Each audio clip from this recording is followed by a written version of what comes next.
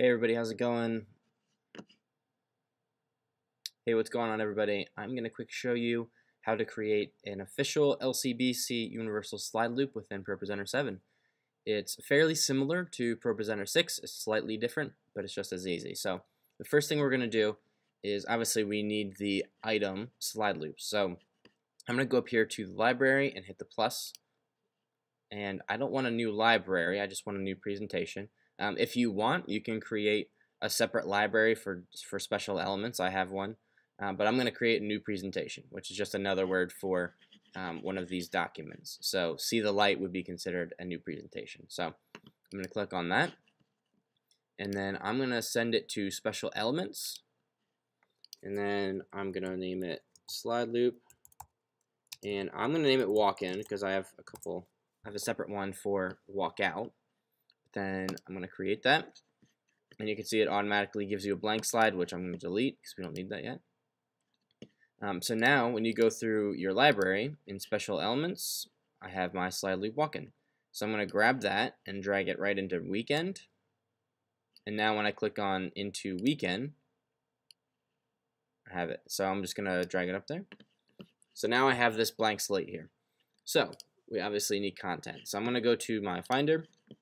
Now I have these videos already saved in my documents under weekend content. If you do not and you need it from Dropbox, which we constantly update that for new series, um, so just a note is if you're going to grab it from Dropbox, make sure that you copy and paste it into your documents and then drag it into ProPresenter 7. If you just grabbed it from from Dropbox and put it directly into ProPresenter 7, you would be stealing it from other campuses and that's no bueno. So just make sure you copy and paste when you're doing this. So I'm just going to grab the ones I need and I'm going to click and drag right into the presentation. It's going to automatically import it, and there we have it. So one important thing to remember as you're making these is that the default setting for background versus foreground is always going to be foreground. So if you right click on one of these and you go to media action behavior, you'll see that foreground is already set. Again, that's the default. And so this matters, and I'll show you that in just a second. So the first thing that we want to do is add go to next timers to each of these slides. So to do that, you right click, go to next timer. Uh, and this is where foreground versus background matters. If it was background, the duration that you would be selecting is the duration of the entire piece of media being shown. So these are 12 second files. If this was set to background, I would put 12 or 11 seconds, whichever you want and then I'd hit done. These are in foreground, which means that as it says here, the last frame will be displayed for this amount of time. So that is what you're setting in the duration, not the duration of the actual piece of media.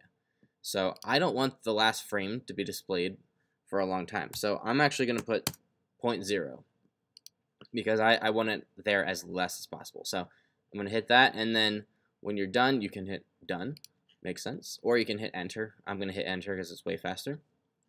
Um, but now we have a go to next timer. So now when I click on this, if you look over in the preview box here, I'll skip ahead a little bit.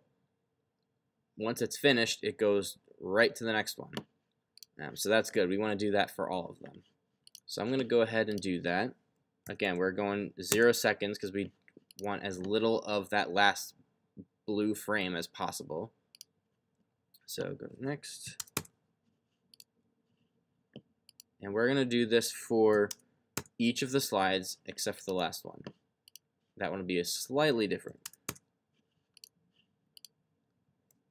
I know this is the most exciting part of the video where you watch me type point zero over and over again.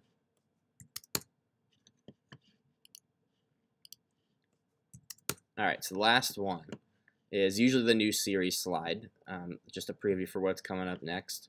So I'm going to set my go to next timer. I'm going to set it to point zero, but instead of hitting done right away, we're going to select loop to beginning. That just makes sure that when this file finishes up, it's going to jump back to the welcome slide. So hit done.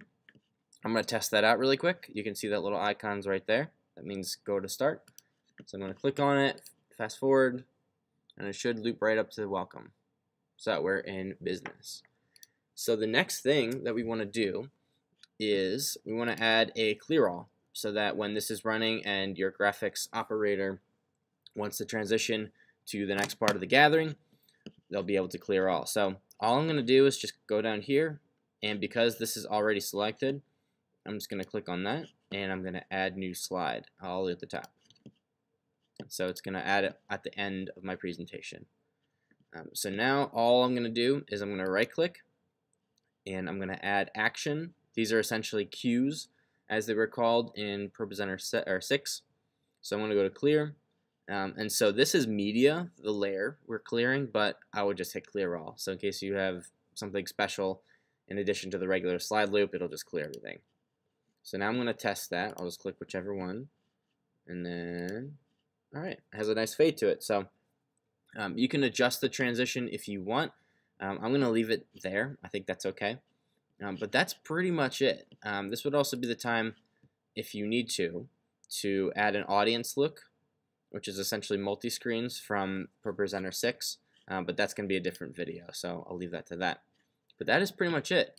Um, if you want to sit and test it, it should loop all the way through these without you having to touch it, and then loop back to the beginning when it's done. And then obviously when you click the clear all, it should clear it out. So that is it. That's how you make the universal slide loop. And now you are fully equipped to do so. So have a good one.